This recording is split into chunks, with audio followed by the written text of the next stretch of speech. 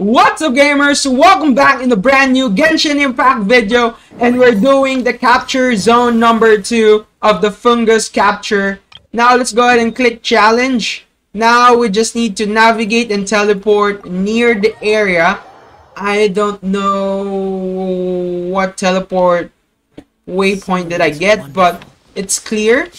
Now we're here on the second zone. Now we need to capture total number of fungi. It's two. We need to have the Cryo and the Geofungus. Now we need to switch. Go ahead and try. I'm halfway there. Capturing this one. Now already captured the Geo. Now we don't need, we don't want this Cryo to escape in our amazing. Oh, I miss. Now we're we're half there, ha halfway there. We just need to capture this one, and that is capture zone number two. That's finisher. That's quick and easy. Anyone can do it. Now let's go ahead and name this one. This fungus has a big, such a big head, but it's more agile than it looks. Let's give it a unique name, shall we? We can call it Crasher Basher.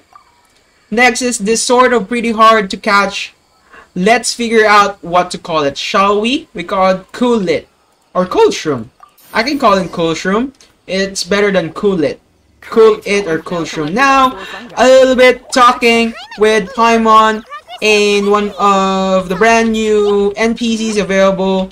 I don't know her name, but okay. I can see someone there. I think it's part of the event, the event of this one, but if the cutscene will be done, I'll just go ahead and cut this video. And also, oh, there is, I think this is a new character.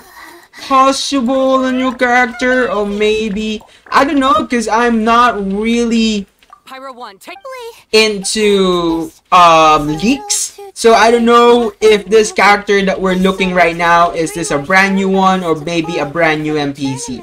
So uh, I'm caught off guard on this one.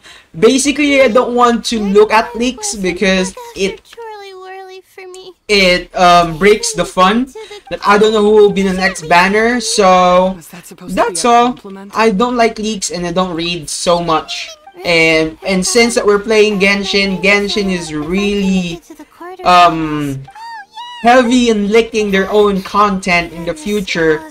So for me, I don't read some of those notes. I don't follow them in Instagram. I don't follow them in Twitter or other social media accounts. I just let the game go by and uh, let Genshin Impact surprise me. Whatever um, event that will be appearing in my event tab screen. So now this um, cutscene is getting too long. It's not like the first one, but the capture is so easy. You just need to capture a certain type of fungi because there are lots of different kind, different elements, and you're able to do it. So now that is capture zone number two. Hit like, share, and subscribe. Comment down below. Follow my social media accounts, and see you in the next video. And have a great day.